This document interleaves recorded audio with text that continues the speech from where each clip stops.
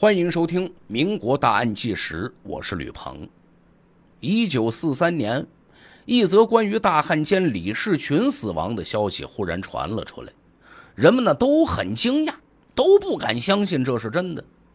李士群是汉奸，他的死人们当然是愿意的，但是死的太突然了，似乎有什么不可告人的秘密。李士群当汉奸这么多年来，想让他死的人数不胜数，但无一例外都失败了。甚至军统的头目戴笠出手杀他都没能成功。那这么一个人，到底是因何而死呢？是意外，是自杀，还是他杀呢？李士群呐，是一个极其爱惜性命的人，怕死。要说意外和自杀的可能性。除非是长江倒流，人们才愿意他会自杀。那只有一种可能性了，就是被他人谋杀。可到底是何方神圣能有这么大的本事呢？能比戴笠还神通广大，杀掉一个正值壮年、狡猾无比的大汉奸？李士群呐。自从叛变国家之后，为了荣华富贵，为了报复仇家，制造了太多太多的血案了，也牵连到了很多无辜的人们。所以李士群到底是被谁杀死的？到底有什么秘密被隐藏了？要弄清楚这个问题，就得先弄清楚李士群这个人。李士群，浙江遂昌人，因为年幼的时候。就显露出远超常人的读书天赋，所以父母呢都对他寄予厚望，他也没有辜负父母对他的期望，成功考入了上海大学。不仅如此，还在美术专科学校读过一段时间的艺术方面也有一定的造诣。正好那个时期，新思想运动正处在蓬勃发展的时候。作为一个受过高等教育的大学生，李士群很快就被这些来自西方的新思想吸引了，并且加入了当时轰轰烈烈的群众革命运动。李士群本身呢，有着不低的学问和不错的文学素养，加上本人呢也聪明，很快就在这个团队之中有了一席之地。但可惜的是，这场运动因为太过于激进，受到了政府的镇压，而这场运动就宣告失败了。不过，李士群也不是一无所获，在这场革命运动之中，他遇到了很多志同道合的伙伴，其中有一个人叫做叶吉清，一个容貌端庄、性格内敛的女学生，她就是李士群未来的妻子。尽管李世群是个不折不扣的大汉奸，但不得不说，他是个运气极好的人。遇到叶吉清可是他这辈子的福气。俩人看对眼了，很快呢也就坠入爱河，谈上恋爱了。李世群的才华和外貌让叶吉清啊很爱慕，而叶吉清呢长得又漂亮，性格呢又很沉静内敛，这也让李世群心动。就这么着。俩人在上海啊，举办了一场令无数男男女女羡慕的婚礼。婚后，俩人呢也是和和美美的生活，挺美满的。但李士群不是一个安于现状的人，他就想着，作为一个文人，我不能眼瞅着中国人因为愚昧落后的思想做出错事儿啊！我得跟孙中山先生以及无数的革命先烈一样，我得为这个国家做贡献。后来，李士群就接触到了共产党。经过大致的了解过后，他发现呢，原来共产党就是他一直在找的组织。他毫不犹豫地宣誓加入。这时候，他心里一直有一个呼声，不断地告诉他，一定要做一个于国于民有益的人。叶吉清虽然没那么高远的理想。但在丈夫李士群的影响之下，她也对当时的党派有一些兴趣。一开始，叶吉清也是中共党员，不过为了稳妥起见，叶吉清选择了孙中山创立的国民党，并且加入了当时的中统机构。这一切看上去都挺美好，俩人前程似锦，夫妻两个人都为理想而奋斗。但这一切可就即将毁灭。当轰轰烈烈的群众革命运动失败之后，李士群选择了去苏联留学深造，而叶吉清呢，就在国内等待丈夫回来。回国之后的李士群受到组织的重视，安排他在上海进行地下活动，但因为国民党在上海势力过大，李士群一不小心被公共租界巡捕房逮捕入狱。后来被人保释出来，可没过多久，再次被国民党中统逮捕。李士群原本怀着一颗誓死报国的心，但当他看到同样被国民党中统特务折磨的看不出人样的同志以后，他这心里边可就动摇了。但他还没来得及讲话，这各式各样的刑法可就用上了：老虎凳、辣椒水。电击，嘿，这一系列的酷刑啊，让李士群感觉自己就到了人间地狱了。这时候的李士群已经放弃了从前的宏图伟志，也抛弃了对党的忠诚，在生不如死的酷刑和卖党求荣的活路面前，他毫不犹豫地选择了卖党求荣。他也在信仰和生命之间摇摆不定过，也纠结过。但最终，李士群还是选择出卖党。他把他所知道的一切都告诉了国民党的特务。但很可惜，即便李士群把一切秘密都说了出来，可国民党还是打算让他死。可怜李士群，光有聪慧的名气，没有镇定自若的本事。当他说出一切的时候，你跟对方谈条件的筹码也就荡然无存了。当然。这位大汉奸不会止步于此，他的妻子叶吉清正在想方设法营救他，甚至不惜一切代价。那么，为了救出丈夫，作为妻子的叶吉清，她会做出什么牺牲呢？是付出生命，还是付出自己的清白呢？得知丈夫李士群被捕入狱之后，叶吉清呢特别的担心。他本人就在国民党中统上班啊，他知道同事们对待中共地下党的手段。可叶吉清虽然着急，她能做什么呀？一个弱女子，除了为丈夫担心之外，也只能去求自己的父亲帮忙了。叶吉清啊，心急如焚，一路小跑到父亲房间去。跪倒在了父亲的面前，是痛哭流涕，就求父亲：“你一定得救救世群呐！”叶吉清的父亲虽然心疼女儿，也对女婿的遭遇很同情，但那时候的官场啊，混乱不堪，收了钱不办事的情况不是没有啊。就算他出了钱，真能把李世群给救出来吗？想到这儿。叶吉清的父亲也只能是哄哄女儿：“哎呀，吉清啊，放心吧，我一定会想办法。你先别着急。”听父亲这么一说，叶吉清觉得李世群有救了，我爸爸一定有办法啊！于是满心欢喜的等待着丈夫的归来。可是左等右等，一天又一天，等了好几天也没等着李世群。这时候。叶吉清才反应过来，原来自己一直信任的父亲竟然骗了自己，给他气的呀！推开父亲的房门，就质问父亲：“你为什么要骗我？”叶吉清的父亲看见女儿这个样子，也火了，对着叶吉清就说：“我还不是为你好啊！当今的世道，李世群落到中统特务的手里，他还可能有活路吗？”叶吉清看着父亲，心里边也生气，眼泪啪嗒啪嗒的就流下来了。他知道父亲不愿意为李世群冒险，所以才骗他。但叶吉清也明白，如果李世群死了，那他也活不好。他不想受到那种相思苦，过那种天人永隔的日子。于是啊，他狠狠地瞪了父亲一眼，转身就离开房间了。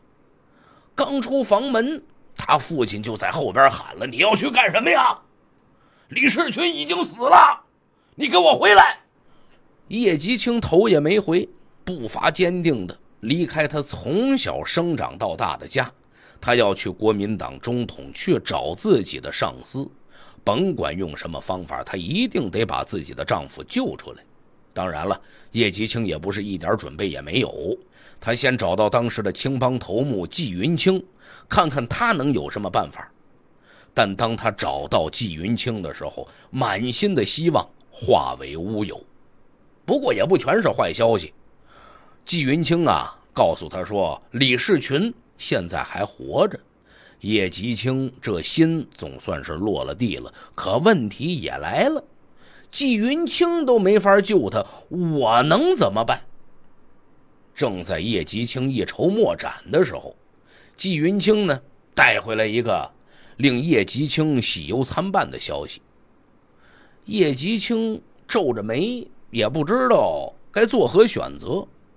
当天呢，叶吉清找到了上司徐恩曾，在徐公馆的会客厅里，他拿出了早就准备好的钻石项链和黄金弥勒佛。这两件宝贝价值连城，是叶家的传家宝。他是偷偷瞒着父亲从家里偷出来的。徐恩曾看着自己的女部下，虽然没怎么见过。但叶吉清长得漂亮，他是听说过的。这时候李世群的命就在他手里，只要他愿意让李世群活命，是再简单不过的事情了。徐恩曾可不会放过这么好的机会。这么一个如花似玉的美人送上门来，哪有拒之门外的道理呀？但他可不能明着抢，那样就失去乐趣了。虽然他徐恩曾是个好色之人。但他呢也有他的原则，从来不用抢。于是徐恩曾把叶吉清送过来的珍宝原封不动的还了回去，义正辞严地说：“李夫人想救丈夫的心情，我能理解。可李世群他是中共地下党，我就是有通天的手段，也不敢背叛党和组织啊。您呐，还是请回吧。”说着，就做出一副送客的模样。叶吉清一看，急急忙忙地抓住了徐恩曾的衣袖，就哀求他一定要帮忙救出李世群，并且说了：“只要您肯帮忙，我什么都愿意做。”哭的是梨花带雨的。徐恩曾看着这美人儿，心里甭提有多开心了。不过呀，他还是装作很为难地说：“哎。”既然李夫人都这么说了，我岂有不帮的道理呀？不过话说在前头，你刚才的许诺，可得说话算数哦。叶吉清知道他在说什么。当时纪云清告诉他那个令他喜忧参半的消息，其实就是说徐恩曾看似风度翩翩、知书达理，实际上是彻头彻尾的伪君子，十分的好女色。纪云清告诉叶吉清，如果想救李世群，眼下就只有这一个办法了。起初叶吉清还抱有一丝幻想，毕竟这么做是背叛丈夫。毫无疑问，李世群知道以后肯定会大发雷霆，因此叶吉清用两件传家宝企图换回丈夫的生命。但可惜的是，这徐恩曾他不缺这些东西呀。那一天呢，叶吉清打扮的花枝招展，浓妆艳抹，他用这浓浓的妆容来污秽自己的身子。在徐公馆的那一天。是他最痛苦，但是也绝不后悔的一天。徐恩曾满意的从房间里走出来，拿起电话就对手下人下令：第二天，李世群无罪释放，甚至成为了国民党中统的人，以身相救，这是很令人感动的爱情。但李世群为什么就选择了做汉奸呢？从监狱里侥幸逃得一命的李世群已经是奄奄一息了。叶吉清啊，看着满身伤痕的丈夫，不由得是伤心落泪。但好在保住了性命，在她眼里，丈夫李世群的命比什么都重要。至于她自己所付出的代价，虽然痛苦，可这也是无奈之举。只要李世群不知道这件事儿，那就当做什么都没发生吧。昏迷了几天之后，李世群终于醒了过来。这时候的他呀，已经万念俱灰，身体的痛苦导致他信仰崩塌。当妻子告诉他事情的来龙去脉之后，李世群更对未来失去了希望。一想到自己已经泄露了所有的秘密，他就陷入了无尽的恐惧之中。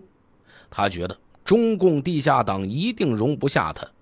思索再三，李士群决定和妻子叶吉清一样，加入国民党中统，当个特务。乱世之中，活命要紧呐！李士群再也不想体验在牢狱中的感觉了。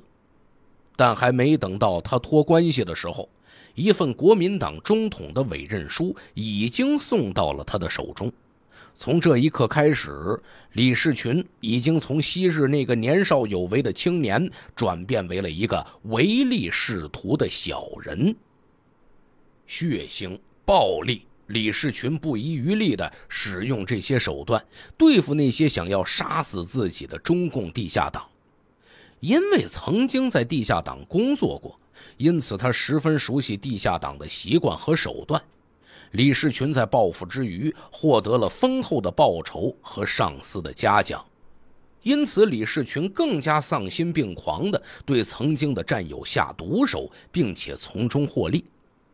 一九三七年十二月十三号，南京城沦陷，中国当时的首都落入日本人手里。这时候的李士群呐，已经是国民党中统的骨干分子。为了刺探情报，李士群被安排留在南京。然而没过多久，李士群的卑劣天性暴露无遗。这一次，他投靠了日本人，而且和日本有名的间谍川岛芳子沾染上一些不干不净的关系。可怜叶吉清啊，不惜以身体为代价换回来的丈夫，竟然是这么一个人。起初，李世群的叛变好歹是中国人之间的事情。但这一次，他成为了人人痛恨的汉奸。可令所有人没有想到的是，尽管李士群做出如此人神共愤的事情，叶吉清还是毫不犹豫地选择陪在李士群的身边。可见，李士群不仅贪图荣华富贵，就连玩弄人心也是一把好手。在日本人的支持下，直属于日本特高课的七十六号就此成立。李士群掌握这个机构的大部分实权，自此李士群成为一个彻头彻尾的汉奸，手中沾染了无数中国同胞的鲜血。不久之后，汪伪政府建立，为了让自己更加安全，李士群成为了汪伪政府特工的头目，负责对抗日爱国志士进行惨无人道的镇压。当时，共产党和国民党都有地下锄奸团。对李士群这样的大汉奸呐，更是欲杀之而后快。李士群呢，担心对方会不顾一切的攻击他，于是让当时一起叛变的丁默村担任十六号的负责人。他只是担任一些闲职，表面上并不参与对中国人的迫害。这个障眼法也骗过了大多数的人。再加上当时日本人和汪伪政权高官身份的庇护，李士群一直都没能成为锄奸团主要的暗杀对象。可实际上，所有的卖国行为都是经过李士群的谋划和首肯才得以实施的。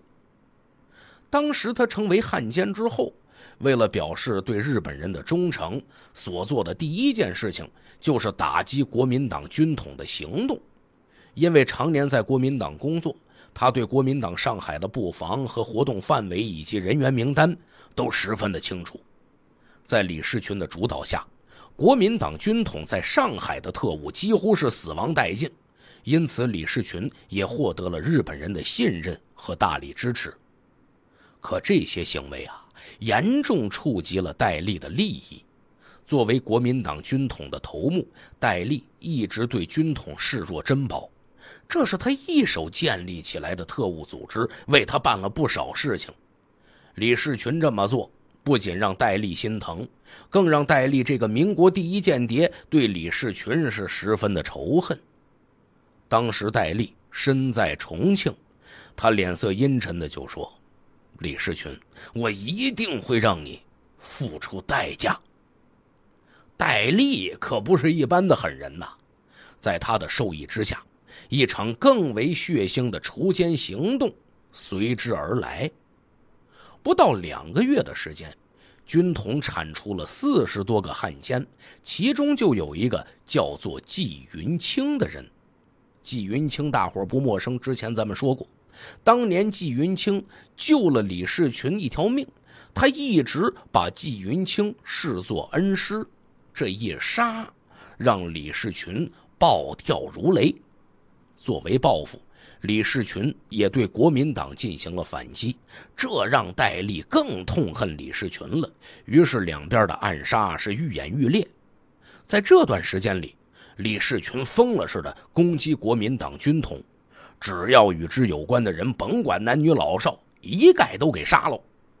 但李士群呢，也不完全是为了复仇，在这些行动的背后，李士群更多的是杀人害命的勾当。当时一家银行因为和戴笠有关，李士群就把银行的人全都杀了，而银行的钱可全让他李士群收入私囊了。双方打的是不可开交，各界的大佬也都出面劝和。李士群的顶头上司汪精卫为了稳定，也向李士群下令停止对国民党的报复行动。无奈之下，李士群只好同意休战。但这就结束了吗？戴笠怎么会容忍李士群如此猖狂呢？一场更大的阴谋正在悄无声息地酝酿着。虽然戴笠对李士群恨之入骨，但很可惜的是，李士群也不是什么等闲之辈啊。他预见了自己的危险，因此李士群做足了工作。他轻易不出门，就算是出门，也会有上百号护卫前簇后拥的保护着。刺杀行动实施了几次之后，都以失败告终。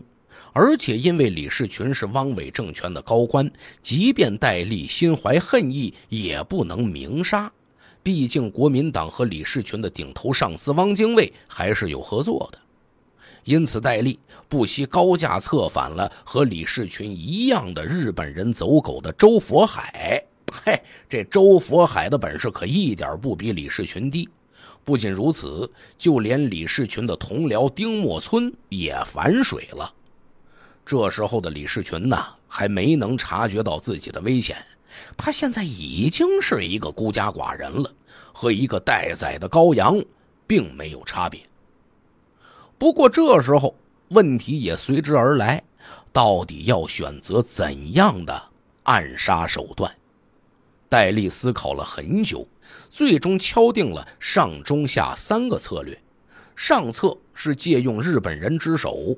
当时虽然李士群是为日本人服务，但因为他本人恃才傲物，得罪了不少日本人。这条计策可以完全的撇清干系，因此戴笠很看重啊。这算是上策。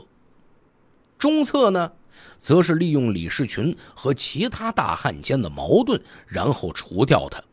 下策和之前戴笠做过的一样，就是不惜一切代价的动用军统和中统的力量暗杀李士群。下策毫无疑问的被否决了，中策在不断的考察之后也被舍弃了。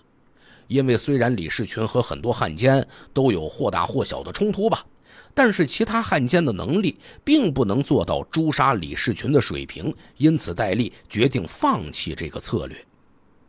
如此一来呀，就只剩下第一条路可以走了。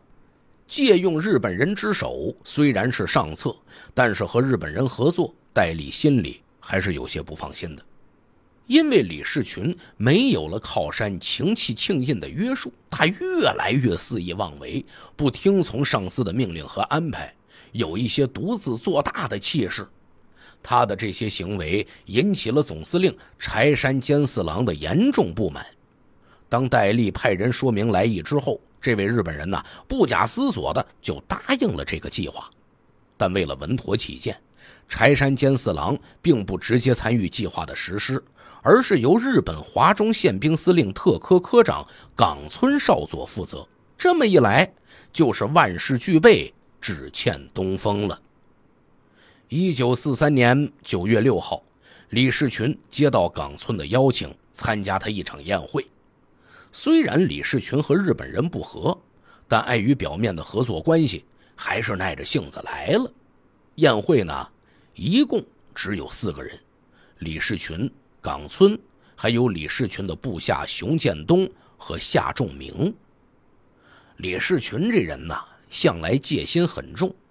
当冈村夫人把一道道日本风味的菜品端上来之后，李士群只是举起酒杯示意一下，从来不第一个动筷子。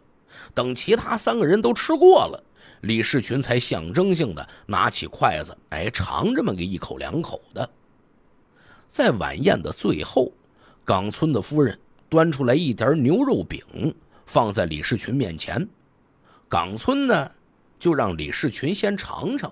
李士群这时候可就起了疑心了，感觉冈村不怀好意，可又不方便直接发作，就借口说今天胃口不好，吃不下这么多。